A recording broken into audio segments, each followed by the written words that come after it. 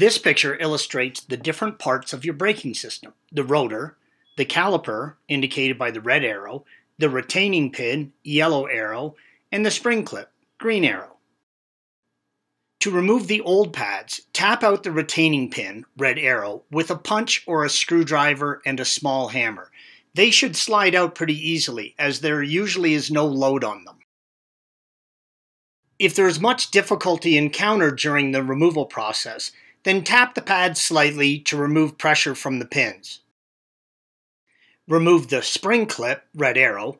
It is a good idea to replace the retaining pin and clip when changing your brake pads, especially if you live in an area that sees winter weather.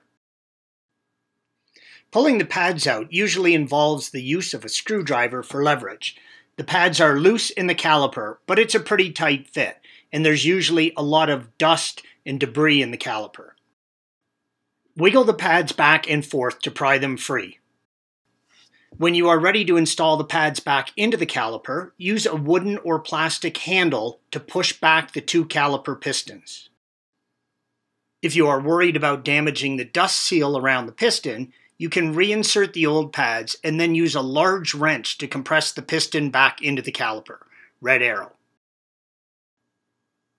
Don't stick a screwdriver in by the piston, as you might damage the piston seals. Keep your eye on the fluid level in the master cylinder reservoir, yellow arrow.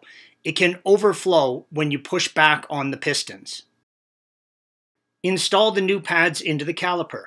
You may have to install pads into one side of the caliper, red arrow, then push the piston on the other side back in to get the next pad in. Don't forget to reinstall the small retaining clips for the pad retaining pins. Brake pads can take a while to fully break themselves in. Exercise care when driving with brand new brakes and follow the instructions that came with your pads on how to bed them in or break in the brake pads. Thanks for watching. Click here to view the original article along with hundreds of other DIY content for your car.